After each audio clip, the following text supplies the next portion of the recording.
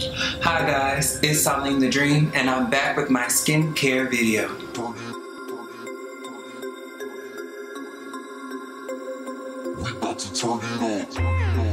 So many people ask me what do I do for my skin.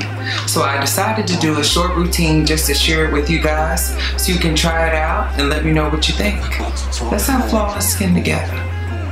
So the first thing I use is my Clarisonic. I wet it first and then I use my mud soap from Sabon. It's a store we have here in New York. I think they are originally from Israel. I'm not even sure if they have an online store, but it's S-A-B-O-N. And the soap I use is the Mud soap. It'll look this color. Okay, they cut the blocks for you there in the store. And so you want to wet your brush first. And then you just rub your brush on the back of the soap. Normally I would be doing this in the restroom, but for video purposes, I am here in my room. Thank you very much. Turn your brush on. I use the medium setting.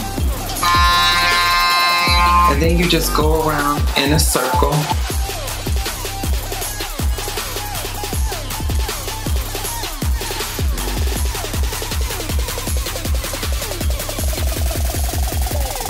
Don't leave out the neck or underneath the, the, the chin and the jowl area. This is the jowl.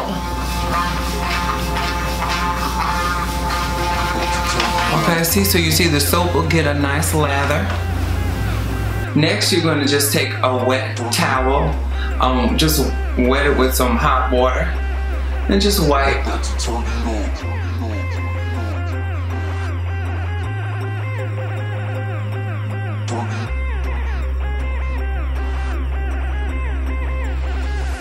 Next, I take my clean and clear sensitive skin toner. I put a little bit on a cotton ball, and then I just put it really in my T-zone area. Not over the entire face, just on the T-zone. For me, I have very oily skin, so my T-zone tends to break out more than the rest of my face. So I want to make sure I put my toner on my T-zone. I do that in a circular motion.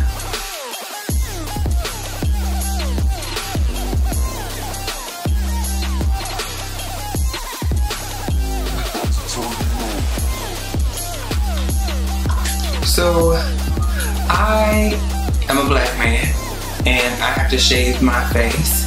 And so what comes with shaving a lot of times with men with curly hair is ingrown hairs. So what I do for my ingrown hairs, I use a product called Tend Skin. It's great.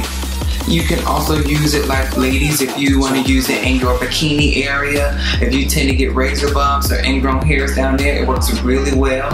Um, men, if you want to use it anywhere else on your body, it really, really works. I say go ahead and buy you some. You can get it from any beauty supply store. You can even order it off Amazon. I also have it in this version where I can put a little bit on a cotton ball, but I also have it in the roll-on. The roll-on looks like this. I've had this for quite some time, so the, the lettering has kind of come off a little bit. Don't judge, okay? Thank you.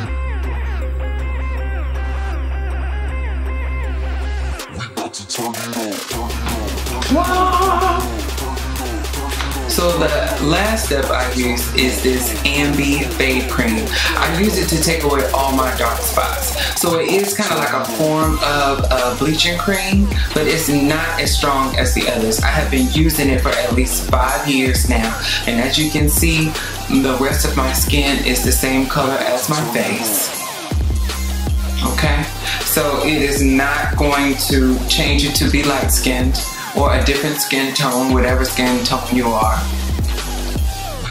It really just goes ahead and removes the dark spots that you may have on your face. We all have had a dark spot before. You have a pimple and you pop it and you have a dark spot, or you had a ingrown hair and you remove the hair and then the spot turned black. So you just want to make sure you have the brightest, happiest skin possible, dark.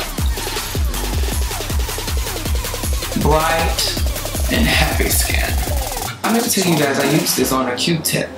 And a lot of people ask me, oh, why do you use a Q-tip? I can't really tell you, but I feel like if I put it on my finger, then my finger would take up most of the, the moisture. Because it's kind of like a lotion. So I feel like if it's on my finger, then my finger would soak it up. I don't know. You can use your fingers if you wish, but just make sure you put the top back on because it only stays good if the top is on in my experience.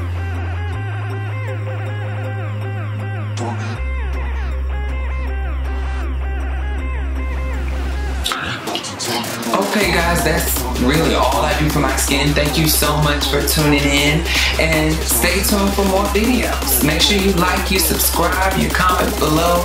Tell me if you try the products and they work out for you. If you try them and they don't work out for you, I'm sorry, don't tell me about it, okay? Because I don't want you to, you know, tell me that I broke your whole face out and you got pimples and it's all my fault. I apologize, this works with my skin. Thank you. Have a good one.